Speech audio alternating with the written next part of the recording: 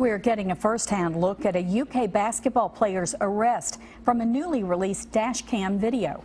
And Derek Willis is charged with alcohol intoxication in Boone County in northern Kentucky. WKYT's Michelle Chamberlain is at our live desk to show us what happened when police found him. Michelle?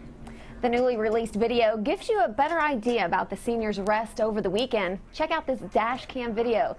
The Boone County Sheriff's Office got a call that someone was passed out on the street. When they showed up, this is what they saw. You can see Willis lying on the ground outside a car with the driver door open. Willis appears to be asleep. One officer even checked his pulse. Officers woke him up, handcuffed him, and walked him back to the police car where he once again fell asleep. Willis was arrested and charged with public intoxication. Now, he did admit to having a lot to drink that night, and when asked where he was, Willis could only say Northern Kentucky. Willis turns 21 next week. UK released a statement saying, We are aware of the situation and are still gathering information. We will hold any further comment until it is deemed necessary. At the live desk, Michelle Chamberlain, WKYT.